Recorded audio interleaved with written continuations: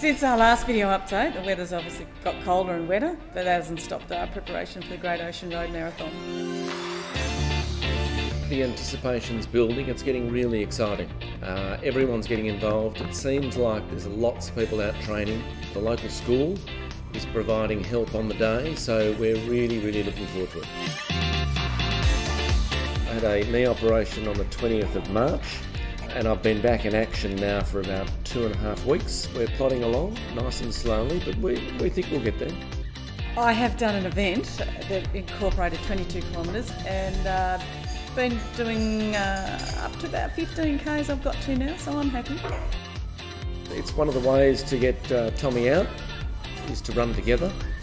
Um, so we're looking to um, to run together and potentially I might even run on the day with him.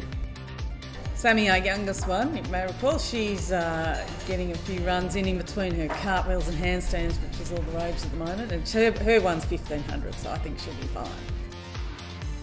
So Olivia, the middle child, she's done the regional cross country yesterday and came third in her race. That was 2k, not quite six, but plenty left in the tank for Liv, so she'll be good too, I'd say. Yeah. Watch out.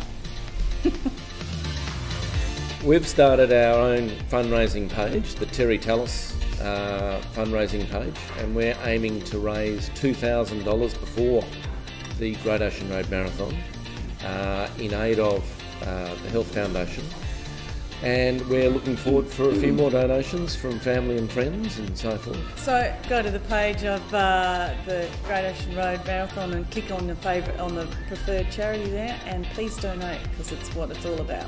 Make sure you get yourself your entries in and dust your running shoes off and get training.